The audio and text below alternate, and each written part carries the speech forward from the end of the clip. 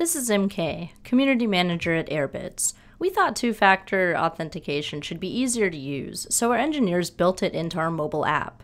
Today, I'm going to walk you through how to set up one touch two factor authentication for your Airbitz app. When you create an Airbitz account, two factor is not enabled. When you log into the app, go to Settings. Under Settings, select two factor. Next, type in your password and then tap on the Enabled button.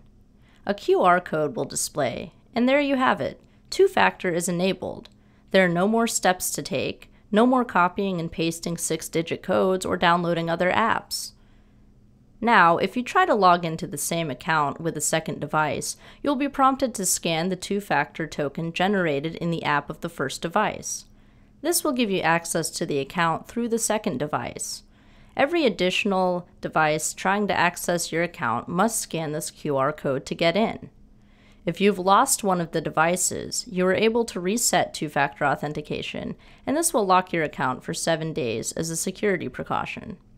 The first device will get an alert that two factor has been reset. Now you can use the world's first one touch two factor authentication to secure your Bitcoin. Visit airbitz.co to stay updated on all the features of our mobile app, or join our Slack channel to join the community discussion.